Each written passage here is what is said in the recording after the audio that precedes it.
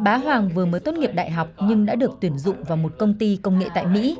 Cơ hội này không chỉ đến từ may mắn mà còn là kết quả của một quá trình chuẩn bị theo sự hướng dẫn bài bản của những giảng viên, chuyên gia công nghệ người Việt dày dặn kinh nghiệm. Ngoài việc mà apply trên nhiều công ty thì các anh chị cũng khuyên là phải chắc chiêu từng cơ hội một. Ngoài những kỹ năng mà mình học ở trường, kỹ năng technical thì phải hiểu được những kỹ năng mà nói chuyện và giao tiếp nữa. Và em đã uh, nghe theo những cái lời khuyên của anh chị bảo và hai ba công ty em được uh, offer. Bên cạnh các cộng đồng công nghệ của người Việt tại Mỹ như Việt Nam Tech Society và Viettech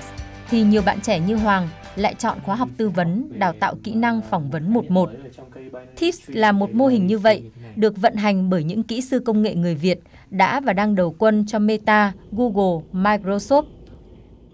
Chương trình học của nhóm mình sẽ bao gồm giảng dạy tất cả các kiến thức và kỹ năng cần phải có trong một buổi phỏng vấn về thuật toán hay là cấu trúc dữ liệu hay là thiết kế hệ thống cũng như là kỹ năng mềm.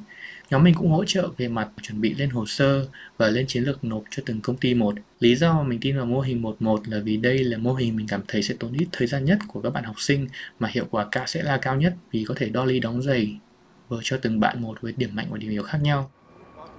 Bên cạnh đó, nhiều chuyên gia công nghệ người Việt cũng cho rằng hiện tại các du học sinh nên tìm nhiều con đường dự phòng, chọn những công ty vừa và nhỏ thay vì chỉ quan tâm đến các tập đoàn công nghệ lớn như trước đây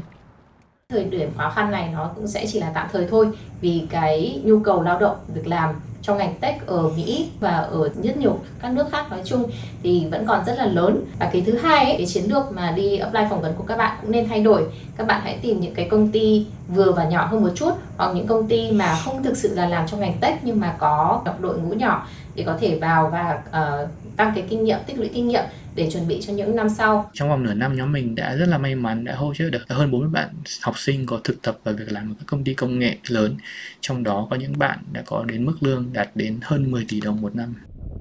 Thời gian tới được dự báo vẫn là khoảng thời gian khó khăn đối với nhân sự ngành công nghệ tại Mỹ, nhưng nhiều cánh cửa vẫn sẽ mở ra với những bạn trẻ có đủ năng lực để ứng phó và thích nghi với thời cuộc.